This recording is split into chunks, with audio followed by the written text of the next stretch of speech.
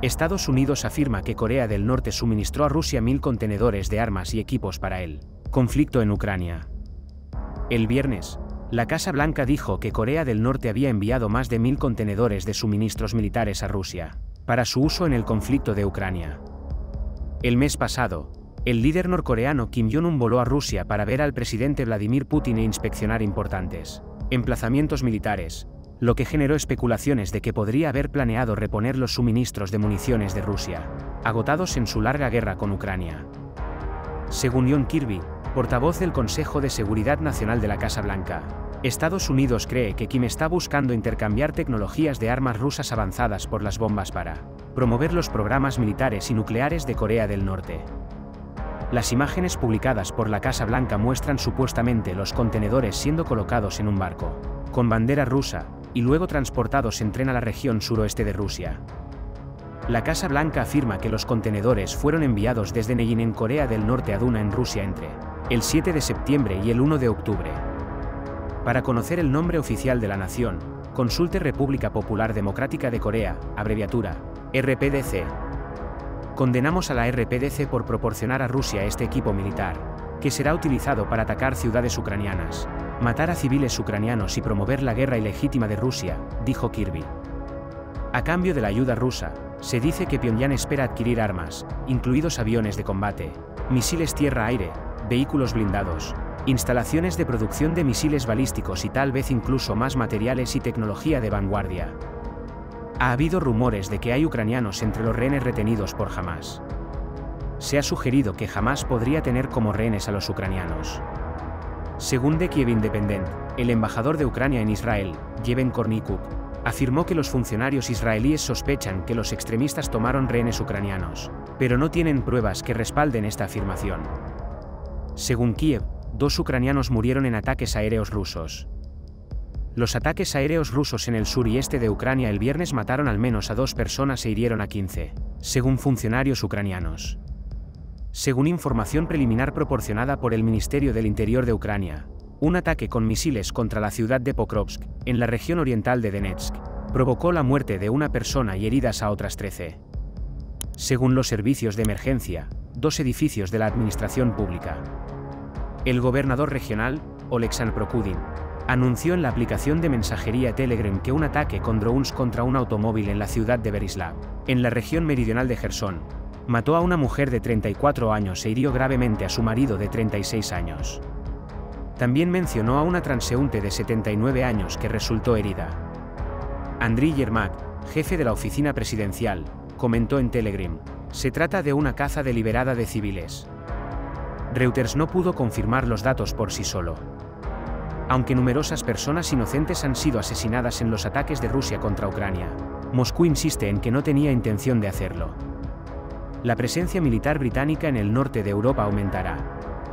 En respuesta a los crecientes temores de un sabotaje ruso, Gran Bretaña ha anunciado planes para aumentar su presencia militar en el norte de Europa enviando allí 20.000 soldados durante el próximo año. En la isla sueca de Gatlen, en el mar Báltico, el primer ministro Rishi Sunak se reunió con otros líderes el viernes como parte del Foro de Cooperación en Defensa de la Fuerza Expedicionaria Conjunta, JEF.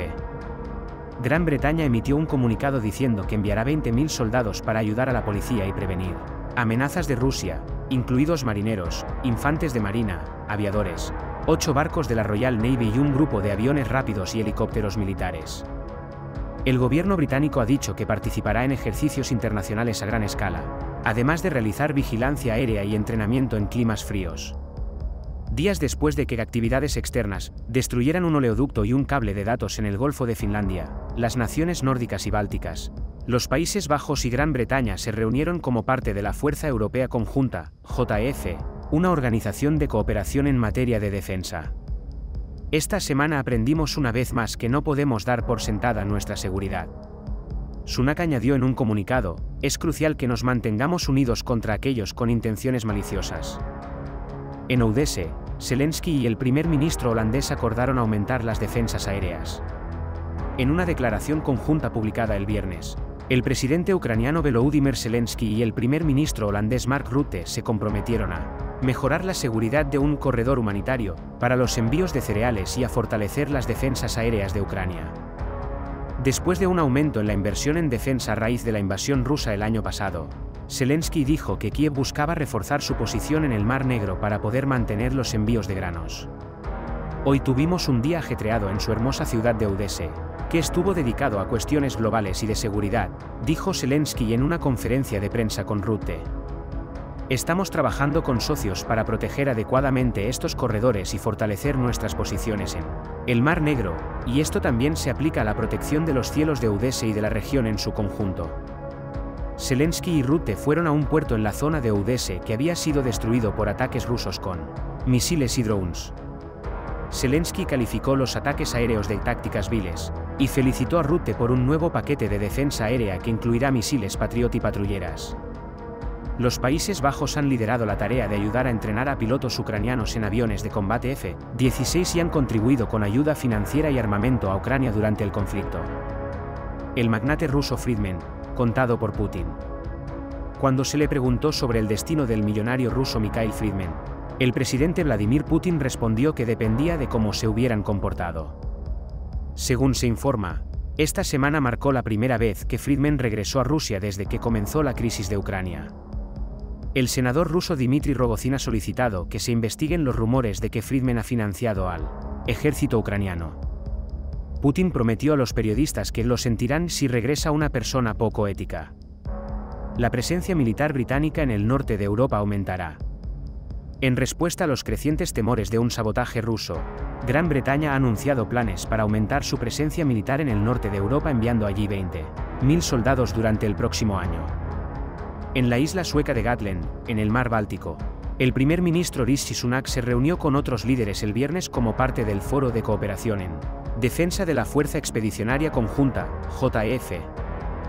Gran Bretaña emitió un comunicado diciendo que enviará 20.000 soldados para ayudar a la policía y prevenir amenazas de Rusia, incluidos marineros, infantes de marina, aviadores, ocho barcos de la Royal Navy y un grupo de aviones rápidos y helicópteros militares. El gobierno británico ha dicho que participará en ejercicios internacionales a gran escala, además de realizar vigilancia aérea y entrenamiento en climas fríos.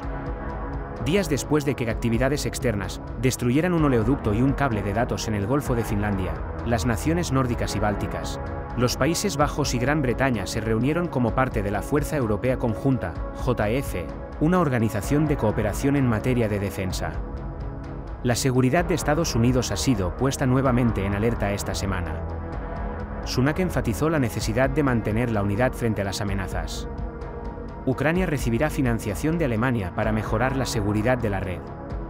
Ukrenergo, el operador de la Red Nacional de Ucrania, anunció que recibiría una subvención de 76 millones de euros del KfW de Alemania para reforzar las defensas del sistema durante el invierno y mejorar la confiabilidad del suministro eléctrico después de los catastróficos ataques aéreos del invierno pasado, que dejaron a muchos en Ucrania sin acceso a electricidad, calefacción o agua corriente, el país se está preparando para nuevos ataques rusos a su infraestructura energética.